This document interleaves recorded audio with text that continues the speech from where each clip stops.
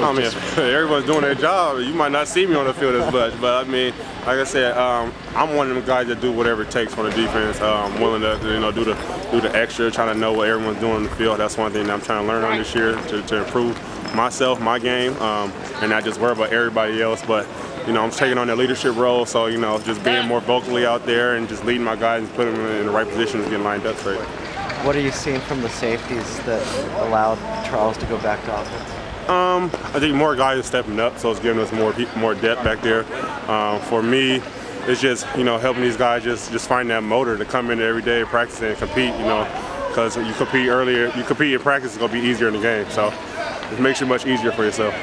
Coach Nils said even some of the threes are, are, are, looking much better. How would you describe the depth right now? I, I, think we're all looking, you know, much better than we was before. You know, we're not great, we're not there yet.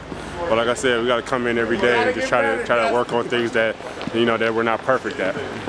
So. Is Khalil one of those guys you think is ready to emerge? Is, oh, more of a force? Khalil has definitely took a, a, major step, you know, while playing a little bit last year. Kind of remind me of myself when I played in the national championship year, uh, just coming in and sparing guys. Um, but, you know, I talked to Khalil just trying to, you know, give them my knowledge because I've been here with, you know, with the great players and stuff like that. So, you know, just stay around, know what you're doing, and, you know, you're going to play.